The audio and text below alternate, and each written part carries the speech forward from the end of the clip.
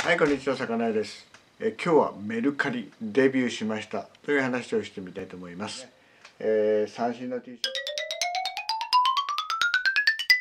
メルカリよくテレビで宣伝しているんですけども私ね今まで使ったことなくて今回買いました。何を買ったかというと沖縄のねこれオリオンビールのえ会社の T シャツなんですけどもここにね三振があるので、三振を引くおじさんとしてはね、えー、人前で引く時にはやはりこういうですね三振の T シャツを買いたいと思いましてですねメルカリで買ってみました。それでですね今までヤフオクをずっと使ったんですよね。でもヤフオクよりも、えー、やっぱ簡単ですかね。あと値段がもう決まってるので、まあ、値下げ交渉っていうのもあるみたいですけども、まあ、今日は簡単にですねメルカリの使い方をやってみたいと思います、えー、まずメルカリですね。こちらの方のアプリになります。これをですねタップしますとですね私これ事前にですねもう、え登録をしてしまってあるので、え最初ですこれを使う方はですね登録がもちろん必要になります。そこでま個人情報ですね、まあ、住所とかいろいろ入れてですね、あとですね、クレジットカードをここに登録してあります。それでこれ開きますとですね、ま、こんな感じでおすすめというのが一番最初に出るみたいです。この上にですね、この各カテゴリーが載ってましてですね、まあ、例えばこのメンズとかですね、まあ、ゲームとか、こんな感じでいろいろあります。ただですね、まあ、ここからここに動かしていくのもいいんですけどもここの検索ですね。ここのところですね。タップをしてですね。そうするとカテゴリーから探すっていうのもありますのでこちらの方が探しやすいかもしれません。まあ、例えば家電スマホであればですね。私の好きなスマートフォンとかですね。スマートフォンの本体。こんな感じでですね出てきます。まあ、あとはですね直接ですね欲しいものをここのですね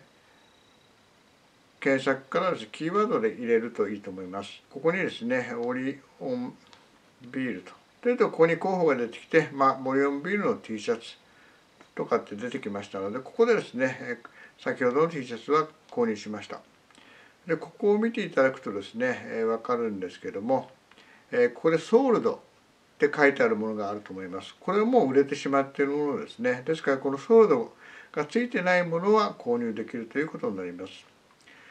それでこれでですね、まあ、例えば2000のオリオンビールを見ますと状態がですねこういうふうに、えー、見ることができます。でこの下にですね、えーと、内容が書いてあります。それあとですねここで、えー、私がよく見るのは送料込みかどうかということですね、まあ、出店者の方で送料を負担してくれるのかこちらで負担してくれるのか。あとはですねどんなぐらいの期間で発送してくれるかとかっていうのが書いてあります。今回ですね、え実際に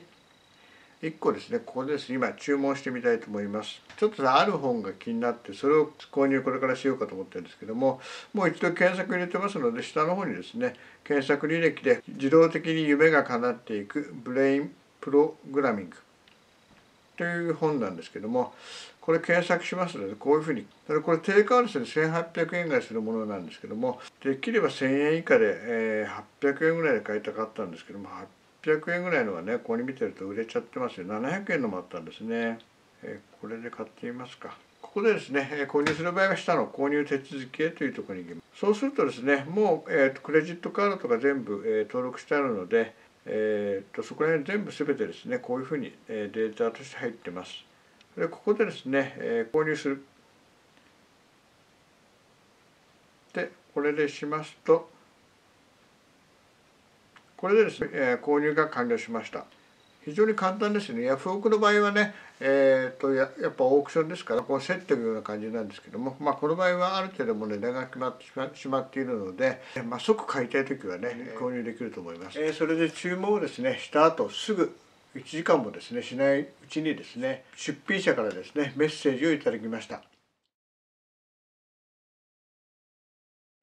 それでですね今日が発注してから2日目なんですけどももう、えー、到着しました。早いですね。まあ、注文を受けてからですね発送まで23日と書いてあったんですけども、えー、こんな形ですね、えー、商品を受け取りました。ありがとうございます感謝します。今度はですね私の方からこちらの方の商品を受け取ったということをですね出品者の方に連絡をします。えー、このメルカリのですねアプリを見ますと2のですねマークが出てます。これはですねえーと、おそらく向こうの方が発送してくれたという通知だと思うんですけどもいきますとこの一番右にですね、えー、2が出てます、まあ、2がですね出てますここをタップしますとここにですね2つの通知が来てます。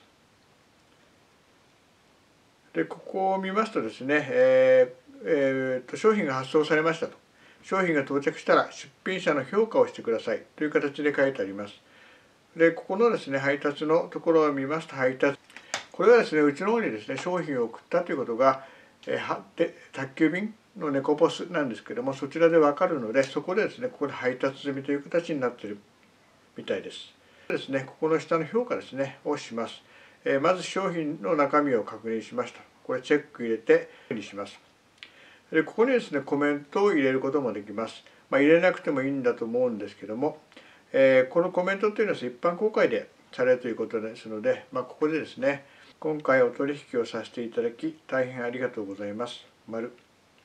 こんな形でですね、えー、入れます。これヤフオクなんかだと定型のコメントがあって、えー、その定型のコメントを押すとですね入ってしまうような、えー、仕組みになってるんですけどもこちらは自分で入れるみたいですね。まあ、これでですね、まあ、評価を